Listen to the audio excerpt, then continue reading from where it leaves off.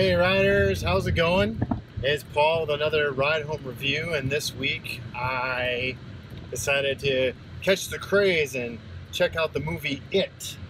Uh, and It was directed by Andy Muschietti and starred Bill Skarsgård as the as Pennywise the clown, uh, Finn Wolfhard, who was uh, from Stranger Things, and then a whole cast of kids I've never seen before, uh, and they were marvelous. Now, what the movie is about? It's about a, some kids disappearing. Uh, one of them is the little brother of one of the main characters, and him and his friends are seeing some strange things uh, related around a clown, and it goes into the fact that this is not something that's our missing people is not something that's new to the town of Derry, uh, which is where this takes place. Now, what I liked about this film was it was a great it was a great story. Now, full disclosure, I have never read the book. I don't really recall too much of the miniseries that came out uh, a couple decades ago. I just remember Tim Curry. I was a lot younger then, and he was terrifying as Pennywise.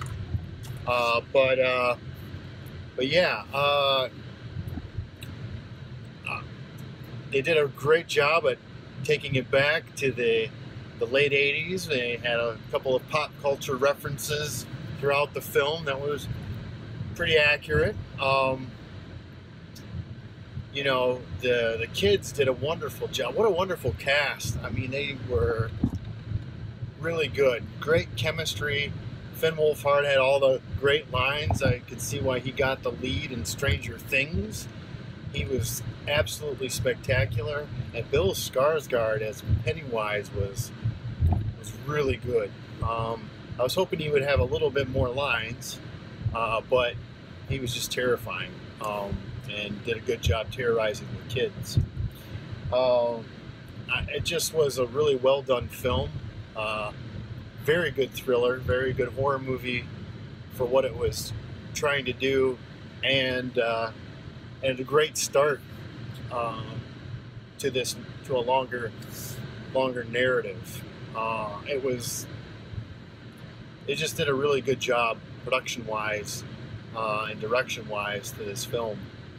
Um, and good storytelling, and like I said, great performances from the kids. What I did not like which was very little. I didn't like. Uh, there were some times when the movie kind of dragged a little bit. Some of the jump scares got a little bit too numerous, and they kept repeating some things. Uh, I thought that some of that could have been cut down to to really uh, boost the pacing because the movie ran a little long, um, longer than I anticipated. Uh, but I mean, and that's pretty much it. There, there was a lot of solutions. There was a lot of uh, character issues um, that were resolved in the film, and so that was really helpful. And uh, they did a good job on that.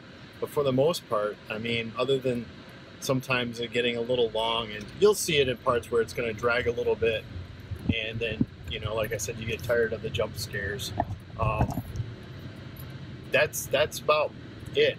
What you should watch for really which is really cool is the fact that how the evil the evil in the town didn't just revolve around the clown. So watch for those little instances of where evil is permeating through regular everyday life and that's the review i thought it was a really well done film um, what did you think uh, leave a note in the comments share this video uh, like us on Facebook, follow us on Instagram, uh, subscribe on YouTube. Let me know what you think about this film, which I thought was really well done addition. So that's it.